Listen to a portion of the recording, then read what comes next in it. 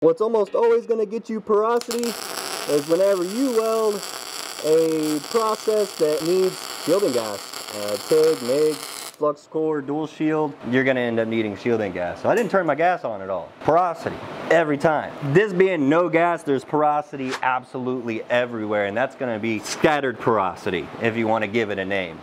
Now let's see about turning the fan back on. Full beans. Now mind you, that fan's still, I don't know, 12 feet away or so. I'm just trying to see what I can get away with.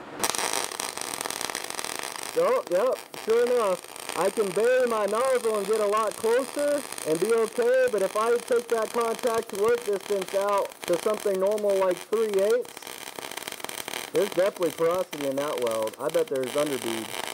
Oh yeah. Some good evidence right here of some maybe crater porosity or cluster porosity. The breeze is coming by and knocking it away or we're moving too far away with our contact to work distance. The first thing I would do is either turn that fan off or go see if my gas bottle is either low or getting close to empty or I can turn my gas up.